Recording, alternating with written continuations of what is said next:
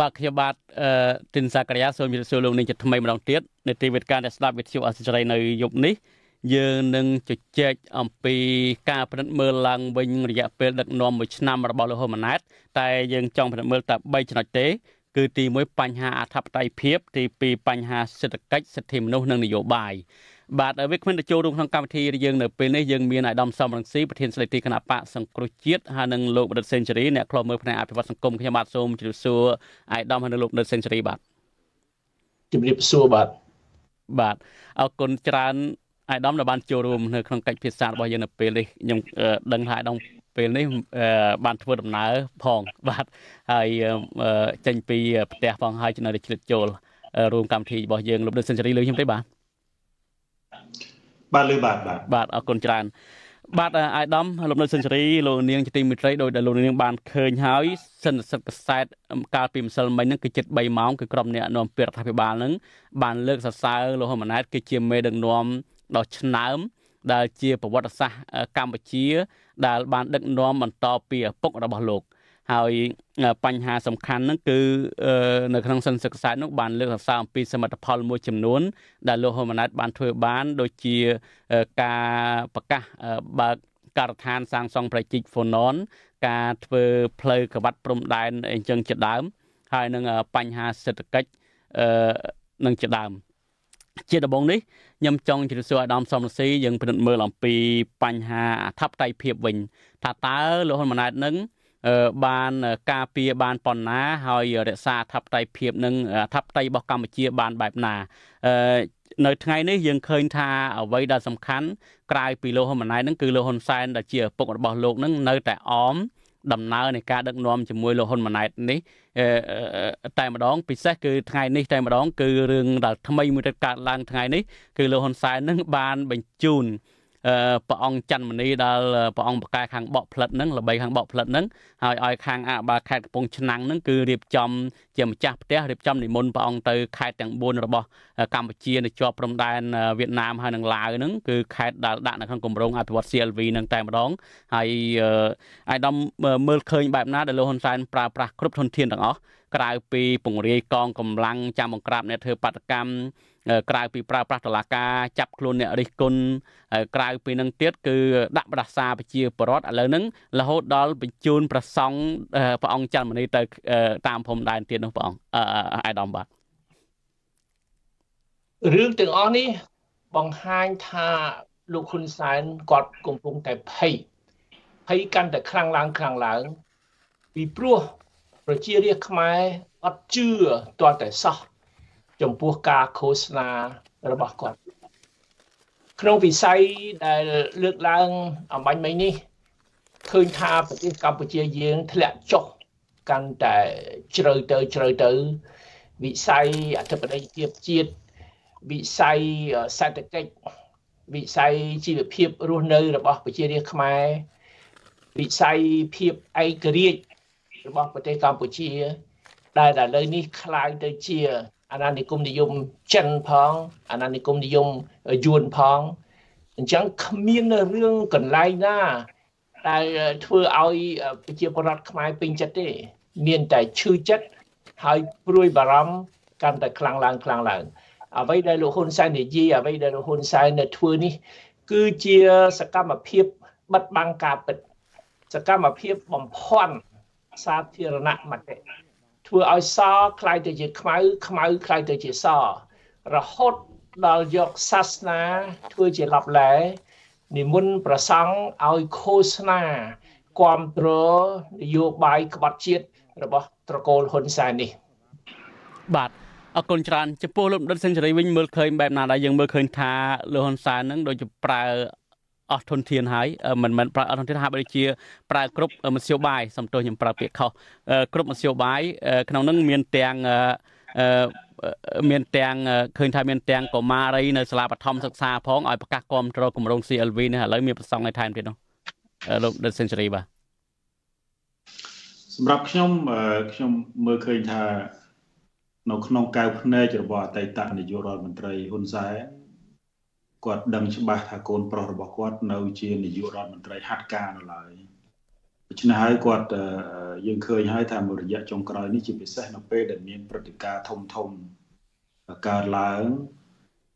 យើងឃើញហើយតកតងនឹងរឿង CLV នេះបានធ្វើឲ្យផ្ទុះនៅកំហឹងជាតិនិយមក្នុងចំណោមយុវជននោះគឺយើងមិនសូវឃើញលោកនាយករដ្ឋមន្ត្រីហ៊ុនម៉ាណែតនឹងចេញធ្វើកិច្ចការងារក្នុងនាមជាអ្នកដែលដឹកនាំ ការងារអង្គនីតិបញ្ញត្តិទេដោយឡែកយើងឃើញថាអតីតនាយករដ្ឋមន្ត្រីហ៊ុនសែនដែលជាឪពុករបស់នាយករដ្ឋមន្ត្រីបច្ចុប្បន្នហ្នឹងដែលខ្លួនកំពុងតែកាន់នីតិបញ្ញត្តិហ្នឹងបានដើរតួនាទីយ៉ាងសំខាន់នៅក្នុងការដោះស្រាយបញ្ហាធំធំដោយយើងឃើញជាក់ស្ដែងដោយយើងមានមានមធ្យោបាយច្រើនណាស់ដែលព្យាយាមនៅក្នុងការធ្វើម៉េចប្រើប្រាស់លទ្ធភាពដែលខ្លួនមានហ្នឹងកុំ ទប់នៅស្ថានភាពដែល កំពុងតែកើតឡើងបច្ចុប្បន្នដូច្នេះហើយសម្រាប់ខ្ញុំគឺឃើញថាឥឡូវនេះអ្វីដែលកំពុងតែកើតឡើងនេះបានបង្ហាញច្បាស់ណាស់ថាលោកហ៊ុនម៉ាណែតនៅមិនទាន់មានសមត្ថភាពគ្រប់គ្រាន់នៅក្នុងការដោះស្រាយបញ្ហាជាតិធំធំមិនទាន់មានលទ្ធភាពគ្រប់គ្រាន់នៅក្នុងការ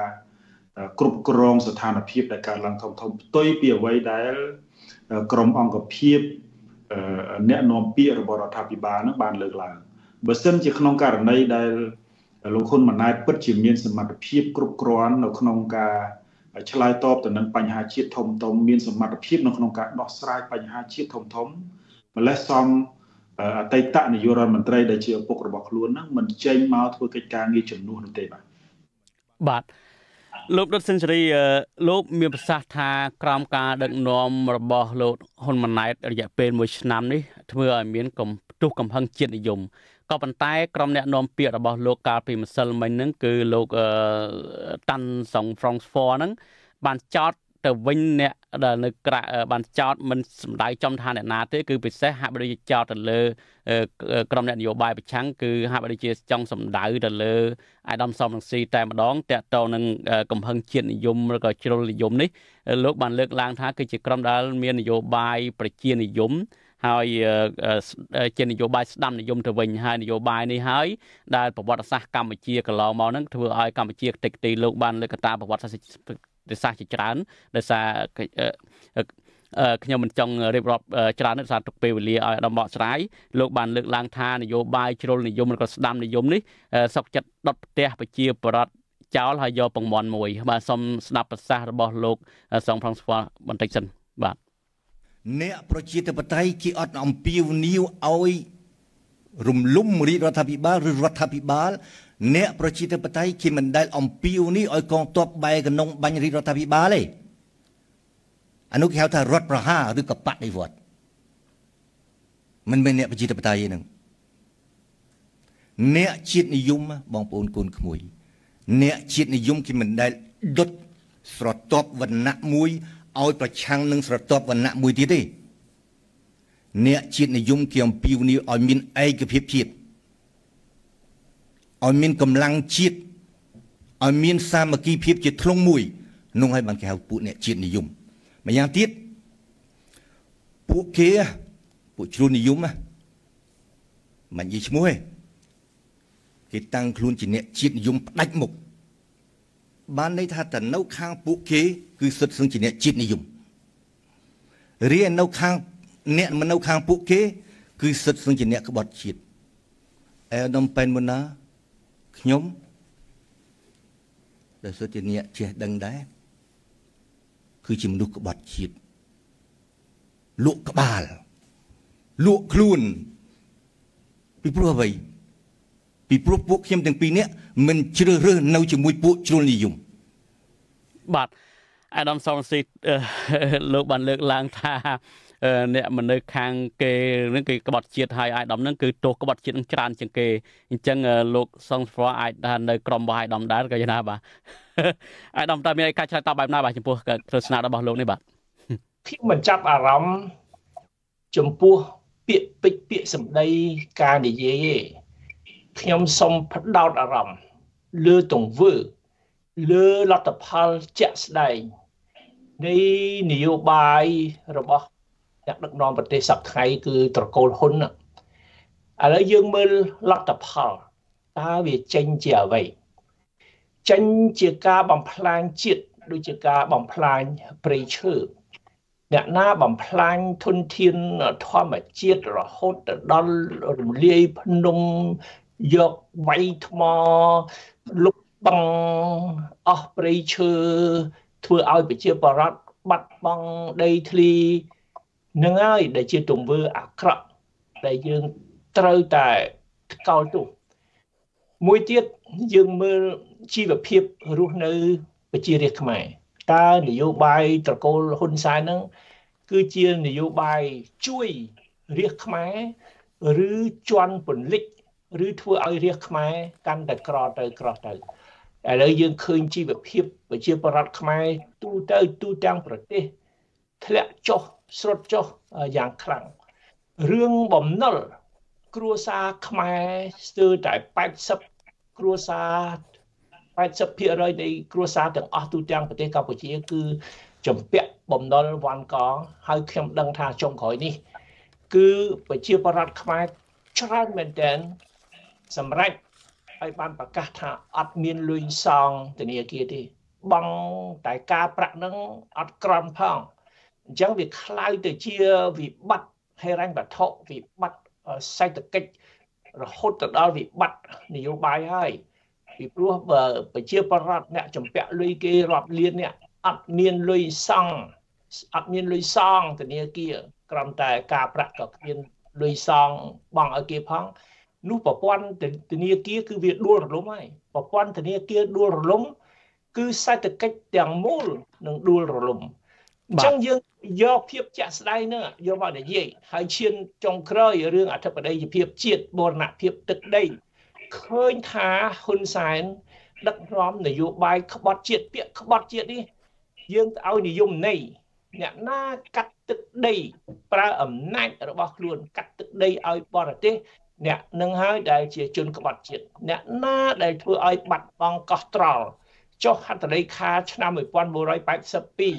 ទៅប្រទេសវៀតណាមឲ្យខ្មែរបាត់បង់កោះត្រល់អ្នកនឹងហើយជាជនក្បត់ជាតិឥឡូវអាគម្រោងអភិវឌ្ឍរួម4ខេត្តនេះ គឺវាឈាន ទៅធ្វើឲ្យប្រទេសកម្ពុជា បាត់បង់ទឹកដីហើយជំហានទី1គឺដាក់ឲ្យខេត្តទាំង4ក្រុមអភិវឌ្ឍការអភិវឌ្ឍរួមប៉ុន្តែហៅថារួមហ្នឹងគឺអភិវឌ្ឍរបស់ ដឹកនាំដោយប្រទេសវៀតណាមគ្រប់គ្រងដោយប្រទេសវៀតណាមសម្រាប់ដោយប្រទេសវៀតណាមពីព្រោះគេសេដ្ឋកិច្ចគេខ្លាំងជាងប្រជាពលរដ្ឋគេច្រើនជាងយើងខ្លាំងគេហូរចូលមកស្រុកយើងយូរយូរទៅដោយតែកម្ពុជាក្រោមអញ្ចឹងនឹងហើយទង្វើជាក់ស្ដែងហើយអ្នកណាបកស្រាយអីឲ្យគេនិយាយអីនិយាយទៅប្រជាប្រដ្ឋខ្មែរគឺផ្ដោតអារម្មណ៍លើលទ្ធផលដ៏អាក្រក់ដែលចេញមកពីនយោបាយរបស់ហ៊ុនសែននិងត្រកូលហ៊ុនបាទ អរគុណអាដាមរតងសេដ្ឋកិច្ចនេះខ្ញុំនឹងសួរអាដាមនៅពេលខាងមុខបន្តិចទៀតយើងជជែកអំពីអធិបតេយ្យភាពនេះបន្តិចសិនអាដាមមានប្រសាសន៍ថាអ្វីដែលតទៅនឹងបញ្ហាអធិបតេយ្យភាពបញ្ហាបរណភាពទឹកដីនេះអាដាមបានចាប់ប្រកាន់ថាតកូលហ៊ុននឹងគឺកំពុងតែប្រព្រឹត្តអំពើក្បត់ជាតិទៅវិញហេតុអីបានជាអាដាមចោតប្រកាន់បែបនេះទៅវិញបើយើងមើលឃើញថាគោលបំណងរបស់រដ្ឋាភិបាលលោកហ៊ុនម៉ាណែតធ្វើនេះគឺ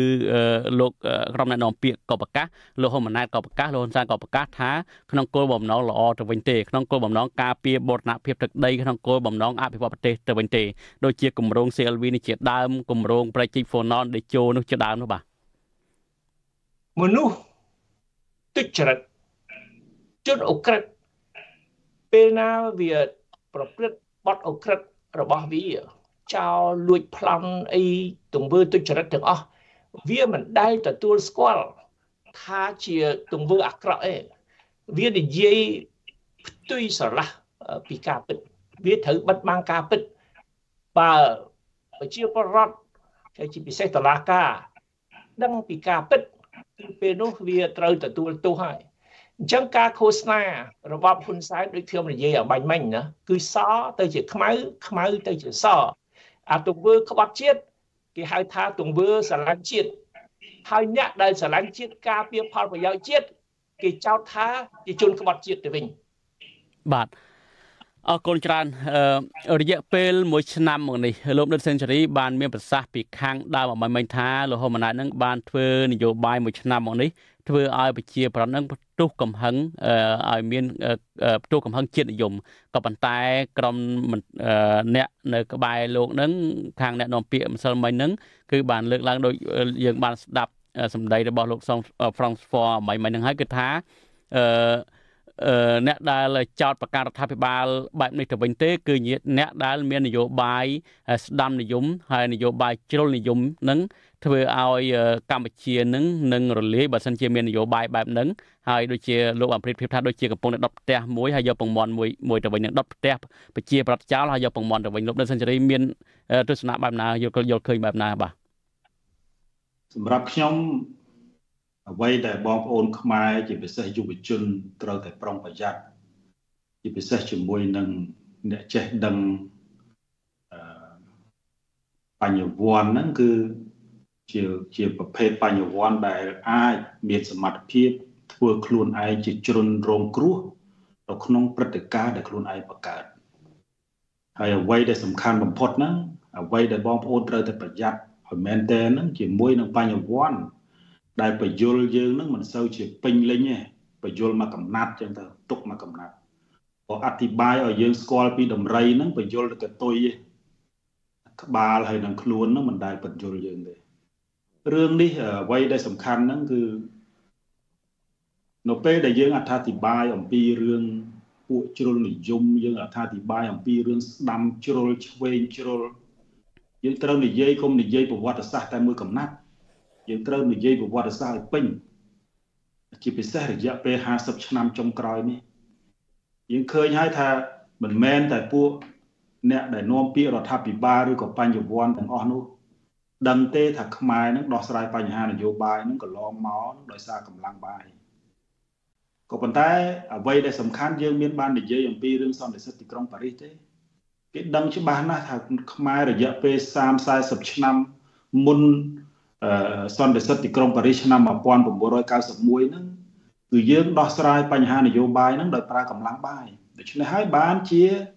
អន្តរជាតិនឹងចំណាយប្រមាណជា2000លានដុល្លារសម័យឆ្នាំ1993ហ្នឹងដើម្បីឲ្យខ្មែរហ្នឹងដោះស្រាយបញ្ហាតាមរយៈការបោះឆ្នោតប៉ុន្តែបើយើងរាប់ពីឆ្នាំ93មកហើយយើងឃើញហើយថាសំឡេងរបស់គណៈបកប្រឆាំងដែលមានមនុស្សគ្រប់គ្រងចិត្តកន្លះប្រទេសត្រូវបានទាត់ចេញមិនអនុញ្ញាតឲ្យចូលរួមការបោះឆ្នោតมันបានធានាថាការបោះឆ្នោតដោយសេរីនិងយុត្តិធម៌ ដូច្នេះហើយថាតើអ្នកដែលមាននិន្នាការផ្ទុយអ្នកដែលដែលស្រឡាញ់ជាតិដូចយើងដែរប៉ុន្តែគេមានវិធីសាស្ត្រនៅក្នុងការដឹកនាំជាតិផ្សេងពីយើងនឹងឲ្យគេដើរទៅច្រកណាអញ្ចឹងហើយដែលដែលខ្ញុំគិតថាបងប្អូនត្រូវតែប្រយ័ត្នប្រយ័ត្នប្រយ័ត្នបញ្ញវន្តដែលបញ្យលយើងមកកណាត់ទុកមកកណាត់អាហ្នឹងហើយដែលដែលខ្ញុំគិតថាអ្វីដែលយើងគួរតែនិយាយគ្នាអានេះយើងនិយាយខ្ញុំនិយាយបែបនេះមិនមែនបន្ទោសទេប៉ុន្តែយើងត្រូវងាកមករកដំណោះស្រាយ ថាតើវិបត្តិនៅកម្ពុជាវិបត្តិនយោបាយនៅកម្ពុជាដោះដោយរបៀបណាហើយគ្មានរូបមន្តណាថ្មីគ្មានរូបមន្តណាល្អជាងដែលបើកឲ្យមានការប្រកួតប្រជែងដោយសេរីនិងយុត្តិធម៌ស្របតាមរដ្ឋធម្មនុញ្ញស្របតាមសន្តិសុខទីក្រុងប៉ារីសឆ្នាំ1991ទេព្រោះនេះវាជាវាជាមូលដ្ឋានគ្រឹះដែលធ្វើឲ្យកម្ពុជានឹងអាចដោះស្រាយវិបត្តិជាប់គាំងនយោបាយផ្សេងផ្សេង ខ្ញុំឃើញថាបើសិនជាយើងទាត់សេវៀននយោបាយទាត់សេវៀនបោះឆ្នោតចោលហើយយើងនៅតែបន្តបដិសេធសំលេងជំទាស់ខ្ញុំគិតថាវានឹងរុញស្ថានភាពហ្នឹងឲ្យកាន់តែមានវិបត្តិធ្ងន់ធ្ងរធ្ងន់ទោទៅ ដែលធ្វើឲ្យម្ខាងម្ខាងហ្នឹងចោតគ្នាថាសិតតែជាអ្នកជ្រុលនិយមទាំងសងខាងបច្ចុប្បន្ននេះយើងសង្កេតឃើញហើយថាដូចជាគ្មានបើយើងស្ដាប់អឺក្រមអ្នកនាំពាក្យស្ដាប់រដ្ឋាភិបាល យើងចោទគ្នាទៅវិញទៅមកដូចជាអត់មានអាណាជឿអត់ជ្រុលនិយមសោះនៅក្នុងកម្ពុជាប៉ុន្តែអ្វីដែលសំខាន់មិនព្រមដើរមកចូលនៅក្នុងអឺនៅក្នុងទម្រង់មួយដែលដែលយើងបានរៀបចំចាប់ឆ្នាំ91ហ្នឹងដែលមានការប្រកួតប្រជែងតាមរយៈការបោះឆ្នោតនោះបាទបាទលោកដិនសេនស៊ូរីនៅក្នុងស្ថានភាពបែបហ្នឹងតើដើរនៅក្នុងទម្រង់ មួយដែលលោកមានប្រសាសន៍អំបីមិញទម្រង់បែបណាទៅតើអាចយកកិច្ចព្រមព្រៀងសន្តិភាពក្រុងប៉ារីសមកអនុវត្តឬក៏យ៉ាងណាទៅបាទសូមសូមសូមឲ្យច្បាស់កន្លែងនោះតិចបាទរដ្ឋាភិបាលមានជំរើសតែពីរទេជំរើសទី1បើសិនជារដ្ឋាភិបាលមិនបើកឲ្យមានការបោះឆ្នោតដោយសេរីនិងយុត្តិធម៌ដល់ឱកាសឲ្យអ្នកដែលមានសម្លេងជំទាស់ហ្នឹងចូលរួមប្រកួតប្រជែងឲ្យពលរដ្ឋជាអ្នកធ្វើការសម្រេចចិត្តតាមរយៈការបោះឆ្នោត វាស្មើនឹងបង្កើតបរិយាកាសឲ្យពលរដ្ឋងើបឡើងតវ៉ាតាមរយៈកម្លាំងបាយវាអត់មានជំរើសក្រៅពីនឹងទេហើយខ្ញុំជឿថាបច្ចុប្បន្ននេះมันអាចធ្វើដូចសម័យឆ្នាំ1979 80ដែល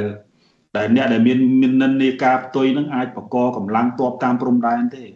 ក៏ប៉ុន្តែទម្រង់នៃការងើបឡើងរបស់ពលរដ្ឋដែលទៀមទាប្រើប្រាស់សិទ្ធិរបស់ខ្លួនតាមរយៈការបោះឆ្នោតនៅពេលដែលគាត់អត់អាចប្រើសិទ្ធិរបស់គាត់បាន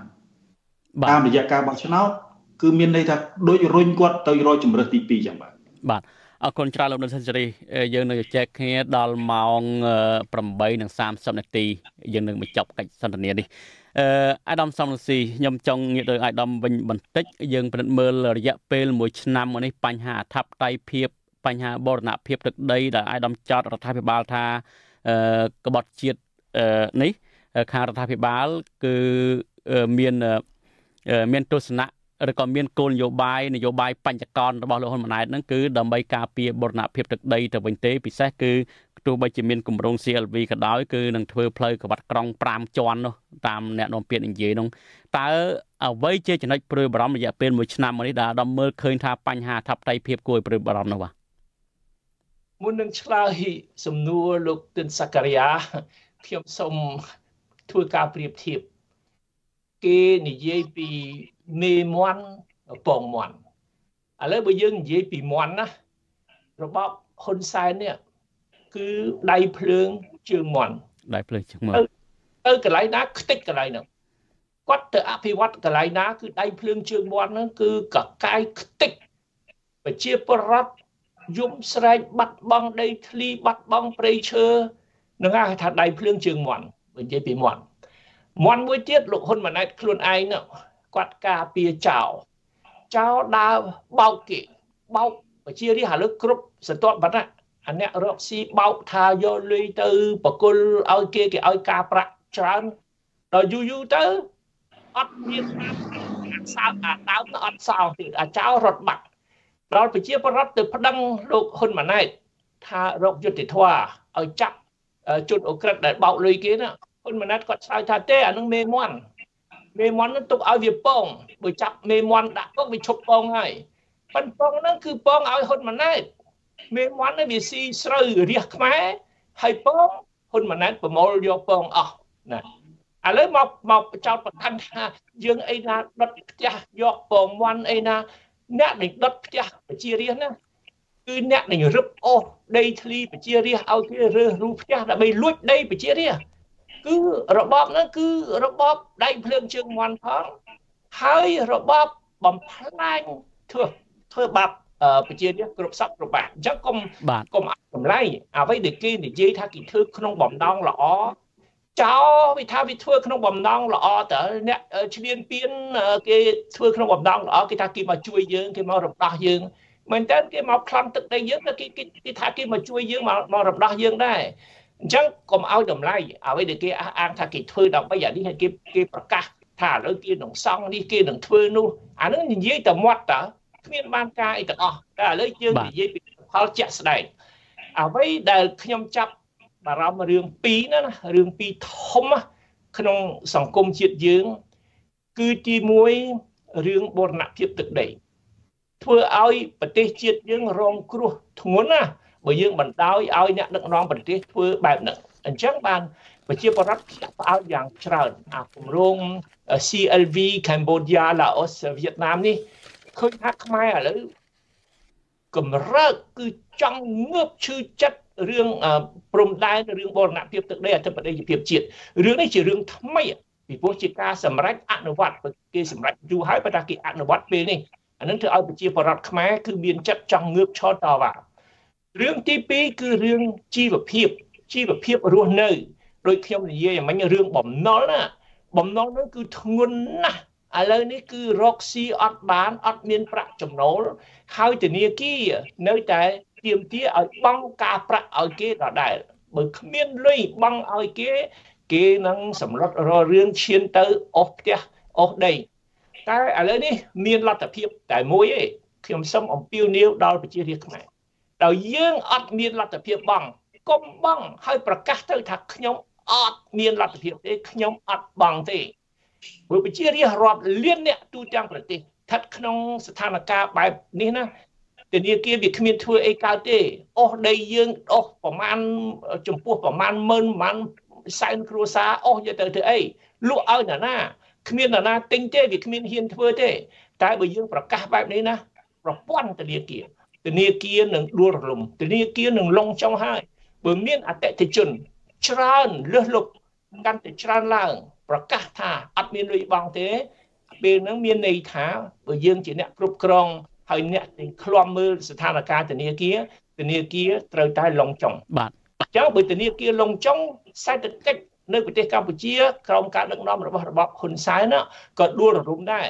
បើសេដ្ឋកិច្ចដួលរលំដែលប្រជារាស្ត្រវេទនាហើយឥឡូវចាំតែទទួលស្គាល់ការប្រកាសទៅសេដ្ឋកិច្ចវាដួលរលំរបបហ៊ុនសែនក៏ដួលរលំដែរបាទស្ថានភាពបែបនេះណាខ្ញុំជឿថាធ្វើឲ្យប្រជាពលរដ្ឋខ្មែរពុះ control យ៉ាងខ្លាំង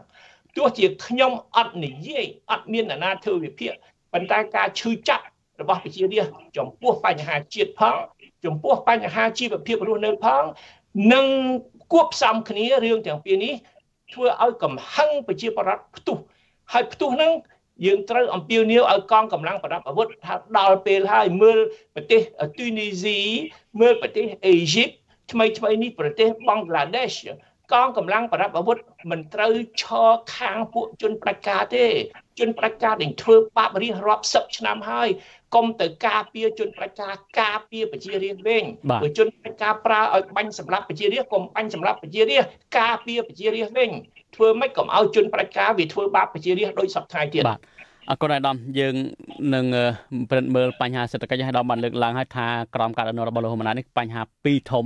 គឺបញ្ហាបរណភាពទឹកដីនិងសេដ្ឋកិច្ចនឹងខ្ញុំចង់សួររឿងសេដ្ឋកិច្ចនឹងបន្ថែមអឺអ្វីដែលដល់មានប្រសាសន៍អំបញ្ញមិញនេះគឺថានៅពេលដែលបរដ្ឋជាពាក់បំណុលប្រជា ធនាគារហ្នឹងកុំបង់ហើយកាលណាមិនបង់ធ្វើឲ្យសេដ្ឋកិច្ចកម្ពុជានឹងនឹងដួលរលំធនាគារនឹងដួលរលំបញ្ហានេះហើយដែលខាងរដ្ឋាភិបាល បានចោទឲ្យដំថាជានយោបាយដែលបំផ្លាញជាតិនោះអាដាមបាទឥឡូវនេះណាមិនថាឈប់បង់ទេស្ថានភាពជាក់ស្ដែងគឺអត់មានលុយបង់ឥឡូវនេះស្ថានភាពនេះយើងគ្រាន់តែប្រកាស ហើយចេញតួលេខចេញស្ថិតិផ្សព្វផ្សាយព័ត៌មានទៅ ថាប្រជាពលរដ្ឋខ្មែរមិនថាមិនចង់ទេ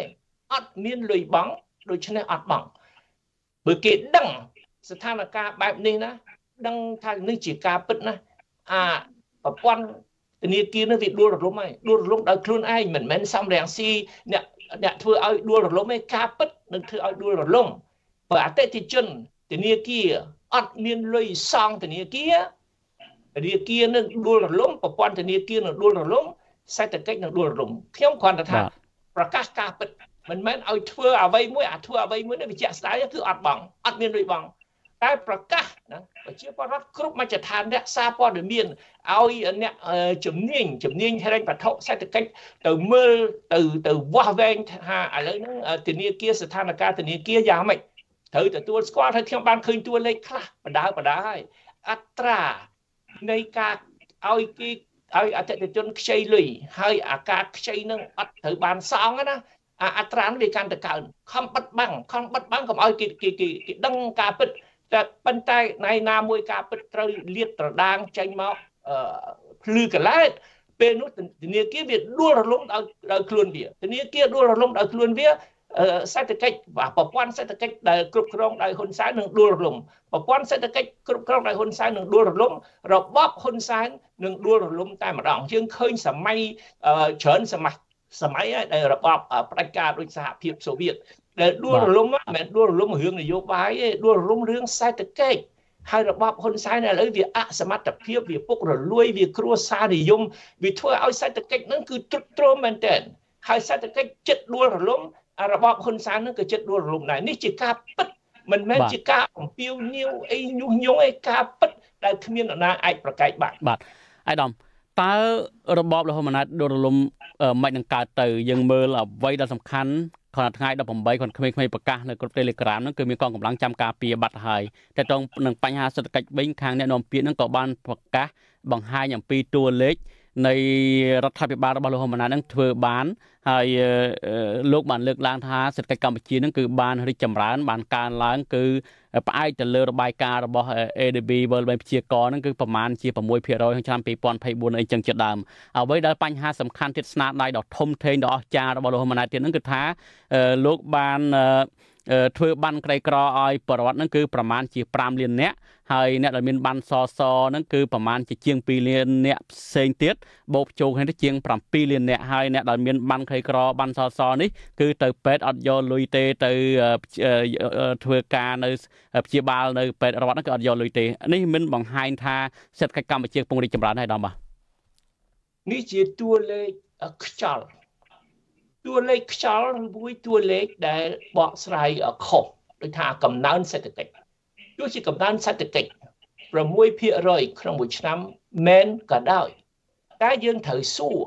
ថាកំណើនសេដ្ឋកិច្ចបែបនេះវាចំណេញដល់នរណាចំណេញដល់ជនពុករលួយ ក្រុមគ្រួសារបពពួកហ៊ុនសែនពួកនោះគេកើនតែប្រាក់ចំណូលរបស់គេកើនទ្រព្យសម្បត្តិគេកើនអានោះគេហៅកំណើនហើយ អញ្ចឹងអាកំណើនសេដ្ឋកិច្ចនេះវាបានទៅដល់ចំពោះតែអ្នកដែលគ្រប់គ្រងហ៊ុនសែនបពពួកគេតែចំពោះប្រជាពលរដ្ឋខ្មែរគ្មានកើនកន្លែងណាសោះប្រាក់ចំណូលក៏ចុះទ្រព្យសម្បត្តិក៏បាត់បង់អញ្ចឹងកុំយកអាតួលេខរួមណាតួលេខដែលថាជាមជ្ឈុំជាទូទៅ6%នោះសួរថា6%នោះវាចំណេញដល់នរណា ចំណេញដល់អ្នកដែលនៅជុំវិញហ៊ុនសែនអ្នកដែលក្នុងខ្សែហ៊ុនសែន ក្នុងរបបយើងសពថ្ងៃណាគឺចំណេញតែខ្សែគ្រួសារបពពួកហ៊ុនសែនតែបើប្រជាពលរដ្ឋជាទូទៅប្រជាពលរដ្ឋសាមញ្ញគឺធ្លាក់ចុះគឺក្រកាន់តែធ្ងន់ទៅធ្ងន់ទៅឥឡូវវាឈានទៅដល់រឿងរឿងបំណុលណាដោយសារក្រដោយសារវាអត់ប្រាក់ចំណូលដើម្បីរស់ត្រូវតែខ្ចីលុយពីធនាគារ ហើយឥឡូវត្រូវខ្ចីពីមួយសងមួយអញ្ចឹងវាវាន់កកាន់តែខ្លាំងឡើងខ្លាំងឡើងมันអាចលេងលបែងនឹងបានរៀងរហូតទេដល់ពេលមួយអាការពិតនឹងវាផ្ទុះថាឥឡូវអត់មានលុយសងប្រជាពលរដ្ឋខ្មែរអស់អត់មានលុយសងគ្រាន់តែដឹងការពិតប៉ុណ្ណឹងណាគឺដួលហ្មងគឺធនាគារនៅស្រុកខ្មែរដួលហ្មងបាទអរគុណអាដាម តើតើប្រដ្ឋដែលគ្មានលុយសងឬក៏ជាពាក់បំណុលបនកនេះខាងរបាយការណ៍របស់អង្គការលីកាដូឬក៏សិនត្រកន្លងមកក៏ធ្លាប់បានចេញបើខ្ញុំមិនច្រឡំទេប្រហែលជាដូចជាប្រមាណជា1លានអ្នកអីចឹងបើខ្ញុំមិនច្រឡំទេបាទដែលគ្មានលុយសងហើយជាពាក់បំណុលបនកហ្នឹងចំណុចមួយទៀតអាដាមអ្វីដែលបញ្ហាសំខាន់តាក់ទងនឹងលោកប៉ែនម៉ូណាបានបង្ហាញតួលេខអ្នកដែលមានបានភ័យក្រជាង5លានអ្នកបានសសប្រហែលជា2លានអ្នកជាងទៀតហ្នឹងបើតាមសេដ្ឋកិច្ចឬស្ដីសេដ្ឋកិច្ចដែលខ្ញុំយល់ដឹងតិចតួចដែរហ្នឹងវាបង្ហាញថាអ្នកដែលមានបានក្រីក្រ5លានអ្នកជាងហ្នឹងវាមានន័យថាប្រជាជនក្រហ្នឹង5លានអ្នកមិនចឹងអាដាមឬក៏យ៉ាងណាបាទសូមបញ្យល់បន្ថែមមួយចំណុចហ្នឹងច្បាស់ណាស់ពីព្រោះនេះជាការឃោសនាបោកបញ្ឆោតបើចង់ឲ្យប្រជាប្រដ្ឋមានជីវភាពរុងរឿងណាគេមិនត្រូវការចាំបាច់ចែកបានក្រីក្រទេនេះជាដំណោះស្រាយខុស ចែកបានក្រីក្រហ្នឹងគឺធ្វើឲ្យមនុស្សនៅតែក្ររំពឹងតែអំណោយហើយអ្នកណារស់រស់ដោយអំណោយបាន អំណោយនឹងគ្រាន់តែរស់ម្ដងម្កាលអញ្ចឹងទេអ្វីដែលយើងត្រូវការដើម្បីរស់គឺការងារឥឡូវសួររដ្ឋាភិបាលសួរតំណាងរដ្ឋាភិបាលបើចង់វាស់វែងថាសេដ្ឋកិច្ចវិនិច្ឆ័យចម្រើនដល់កម្រិតណាយ៉ាងម៉េចណា ត្រូវសួរថាបង្កើតការងារបង្កើតការងារបានប្រមាណហើយខ្ញុំនៅសហរដ្ឋអាមេរិកពេលនេះនៅស្រុកបារាំងនៅអឺរ៉ុបនៅជប៉ុននៅអីរាល់ខែរាល់ត្រីមាសគេតាមដានមើលថាតើរដ្ឋាភិបាល បានបង្កើតការងារឲ្យប្រជាពលរដ្ឋបានប្រមាណនេះហើយបានស្រូបយកយុវជនដែលដល់វ័យរកការងារធ្វើស្រូបយកយុវជននឹងឲ្យមានការងារធ្វើបានប្រមាណនេះ បើសួរចំនួនសួរសំណួរត្រឹមត្រូវណាខ្ញុំជឿថាពេលនេះឆ្លើយអត់រួចទេបើទៅសួរផ្ដេសផ្ដាស់ហើយគេប្រកាសផ្ដេសផ្ដាស់ថាចែកបានក្រីក្រឈួតសុតអ្នកដឹកនាំប្រទេសណាទៅអួតថាបានចែកបានក្រីក្រគេត្រូវសួរថាបានបង្កើតការងារបានប្រមាណប្រាក់ខែបានឡើងប៉ុន្មាន ជីវភាពរស់នៅ បានឡើងដល់កម្រិតណាបើគាត់ទៅចែកបានក្រីក្រចាក់ទុកប្រជាបរតជាអ្នកក្រីក្រជាអ្នកសុំទានជារៀងរហូតអានឹងស្នាដៃអីស្កាតស្នាដៃឈួតឈួតណា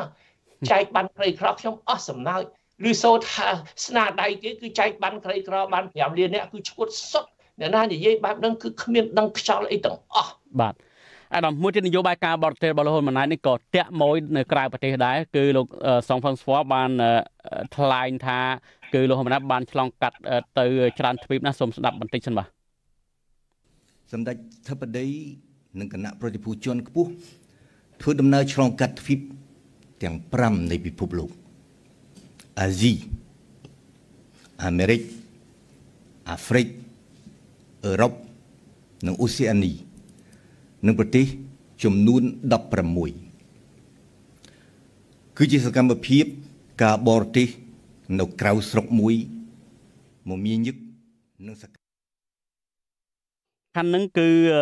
ការរលើកឡើងរបស់លោកនេះដើរតាក់មួយក្រៅប្រទេស5ទ្វីបលើភពលោកនិងប្រទេសផ្សេងផ្សេងទៀតនឹងគឺលោកមិនបានបង្ហាញថាតើប្រទេសណាខ្លះបានមកវិនិយោគទេប៉ុន្តែលោកបានបង្ហាញរបាយការណ៍សរុបវិញរបស់ក្រុមប្រឹក្សាអភិវឌ្ឍន៍គឺ CDC ថាមានគម្រោងពីខែមករាដល់មិថុនាគឺ190គម្រោងហើយដែលមានលុយជាង3000លានដុល្លារហើយបង្កើនការងារនឹងបានជាង16000នាក់អាយដាមមើលឃើញបែបណាដែរបាទ